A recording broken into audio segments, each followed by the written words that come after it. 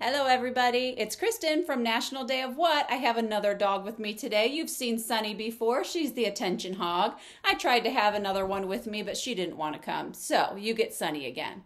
Anyway, just so you know, since yesterday was um, Hufflepuff Pride Day, today is Slytherin Pride Day. But that's not the day I wanted to talk to you about. Today is March 21st, 2023, and I have two more days to talk about. The first one is World Astrology Day. Now, my zodiac sign is Cancer. I don't usually read the horoscopes, but every once in a while I will just for fun. Thank you, Sunny. Um, so I decided to look it up for yesterday, actually, um, just to see what it was. And my horoscope said this is the perfect time to pour your energy into a new hobby or interest, something that's been on your mind for a while now.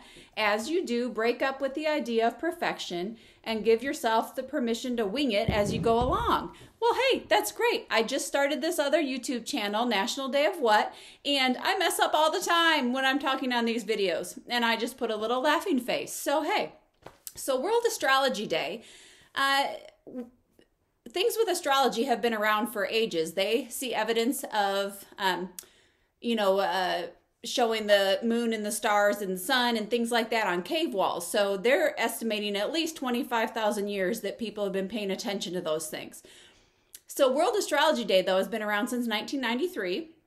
And generally, when people think about astrology, they think about the zodiac signs and horoscopes and things like that. So today is World Astrology Day. The second day that I want to talk about today is now I'm drawing a blank again.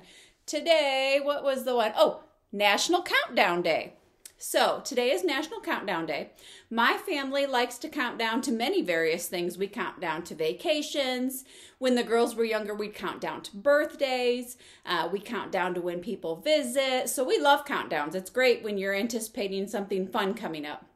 So I would love to know in the comments what do you like to count down to? So those are the two holidays for today, plus the bonus one of Slytherin.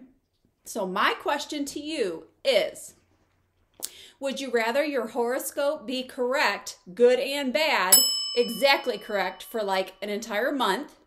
Or would you rather have a countdown to the second for an entire week? I feel like that would make your weeks feel really long.